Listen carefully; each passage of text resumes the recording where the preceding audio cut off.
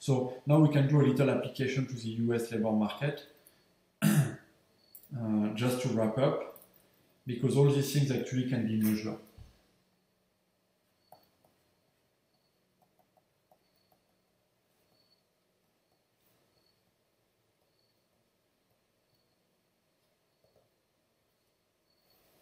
Um, so first statistic, you know, are the recruiting costs. And so this, you know, you need to have evidence on how many people, uh, workers, how many workers are devoted to recruiting. And it turns out that there is evidence on that. And uh, so if you look at um, the papers that Arasanya is reading, they discuss that evidence. And in particular, the, um, the BLS, the Bureau of Labor Statistics in the US, conducted a, a wide range survey in uh, 1997, which was called the National Employer Survey, uh, which involved you know five 5,000 firms or something like that.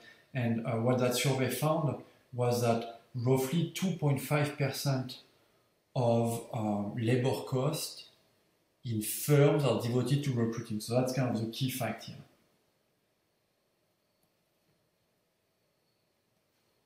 That's a good number uh, to remember. 2.5% of labor costs are devoted to recruiting in the US. That's in the US and that's in 1997.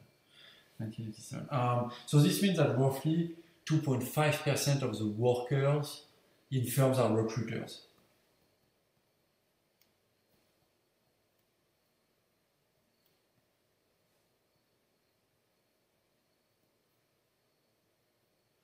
Okay, uh, so that's uh, you know that's that's a useful statistic to have in mind.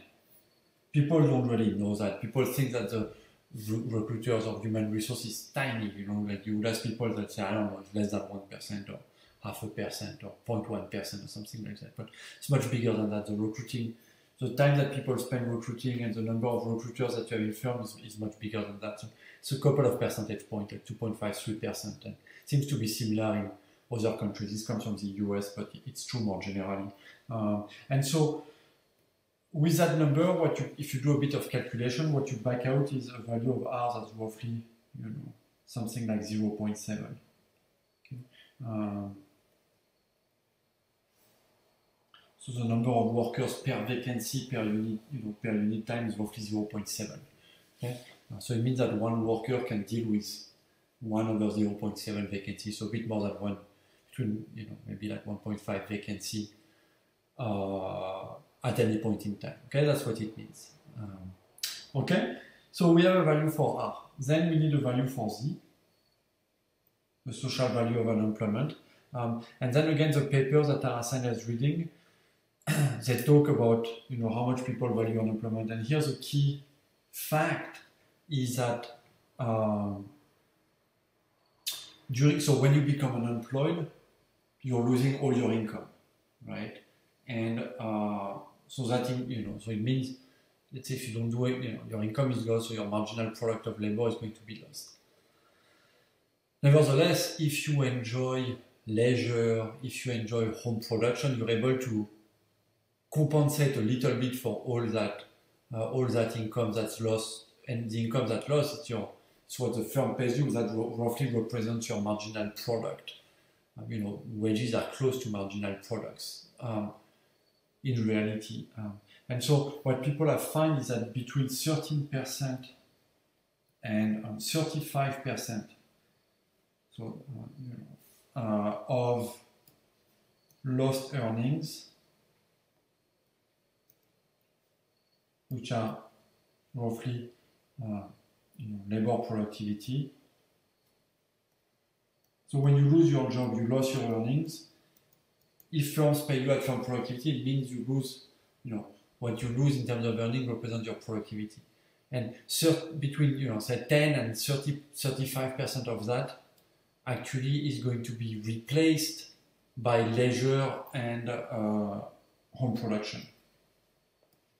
So people behave as if through leisure and through production they were able to earn between 13% and 35% of what they earned when they had a job.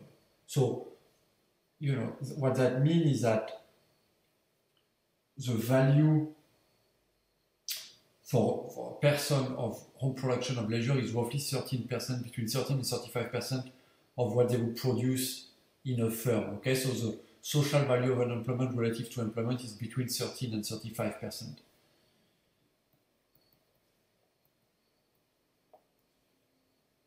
Leisure and home production.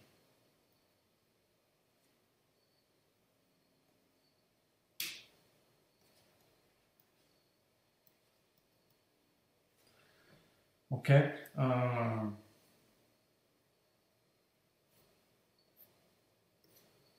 so what that means that Z, the social value of unemployment relative to employment is between Z represents exactly that. So Z is between uh, 13% and 35%. And so if we take you know, a midpoint of that value, you'll get something like Z. If you take a midpoint, you get Z is about, say, you know, one quarter, 0.25.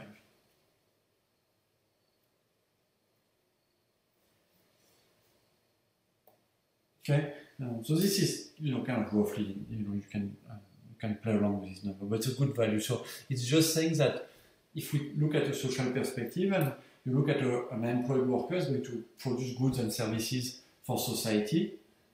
When you're unemployed, through production leisure, you can produce roughly one quarter of that. That's how people behave as if that, that's roughly what was going on. Okay, so it means people don't do anything when they're uh, when they're unemployed. They do you know they do maybe about a quarter of what they would do if they had a job in terms of productivity. Um, okay, so once you have this, we have R, we have this, the last thing that you need is epsilon, the elasticity of the Beveridge curve.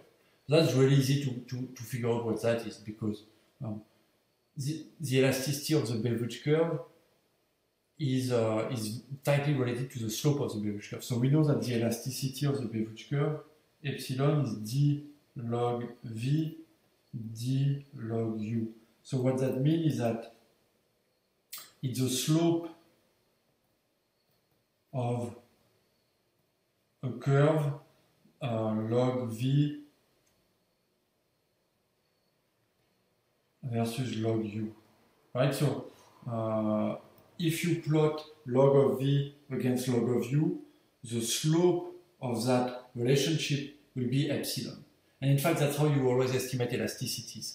You can just um, you know you can just plot log of variable against the log of the other variable, the slope of that relationship will be an elasticity. Uh, so if I plot log of u against log of v, uh, then I know by looking at the slope of that relationship what my elasticity is. So, you know, more formally, if I run a regression of log of v against log of u, the coefficient in that regression will be my elasticity.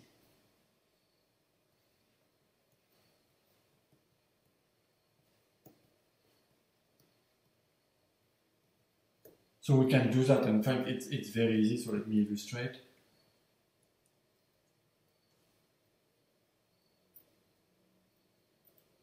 Um,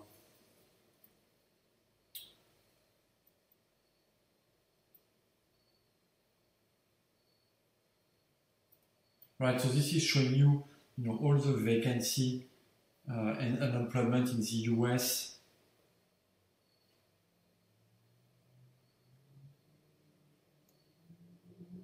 since uh, the 1950s, and this is showing you like a first branch of the Beveridge curve because you can see the Beveridge curve is shifting over time.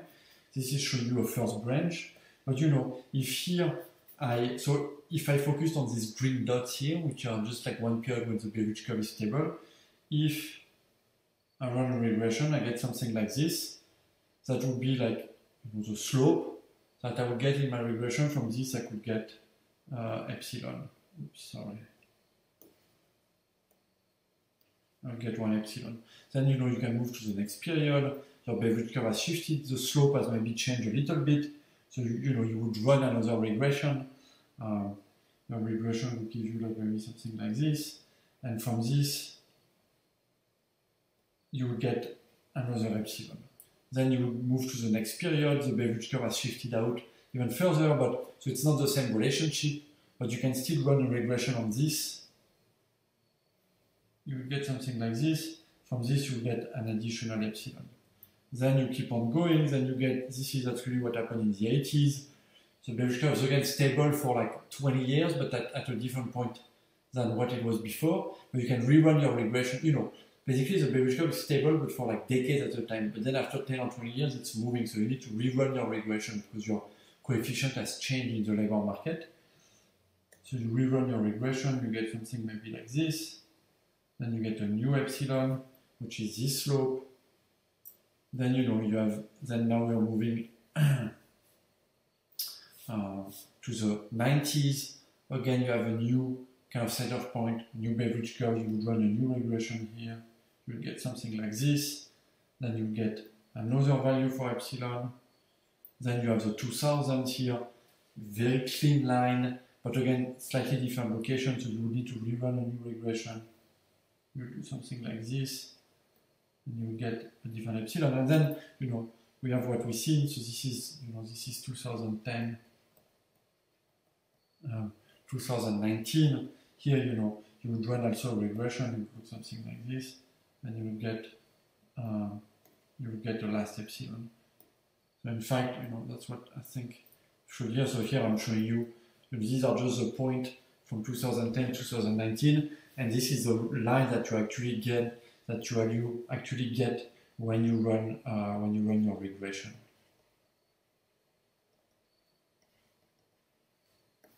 This is your regression line, the uh, purple line, and the coefficient is 0.81. So that's the Beveridge elasticity that you will get here. Okay, it's a little bit less than one. Okay, so very easy to do. And in fact, you know, that's an interesting exercise. If you know you have data for another uh, country, for another labor market, you can just you know replot Beveridge curve, replot uh, you know log vacancy versus log unemployment, run regression, and you'll get this coefficient of the Beveridge elasticity, and then you can recompute uh, the efficient labor market tightness or efficient unemployment rate in, in the country that interests you using this data. Um, and so this is a summary actually. Uh, so this is a graph that shows um, the Beveridge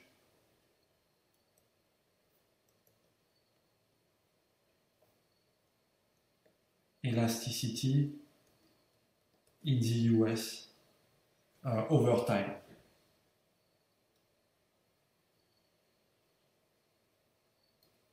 Okay, so this is just summarizing all the slope that you would get by doing all the regression that I've just kind of graphed informally. Here you can see this is the 0.81 uh, that we uh, talked about for the end of the period. And so what you can see is that this Beveridge elasticity, you know, which is what we've called epsilon, um, so it's going to vary a little bit over time. It's not completely stable, but it doesn't vary too much. You know, the lowest level is uh, around 0.8 what we've had the most recently, and the highest level is around 1.2. So it varies, you know, uh,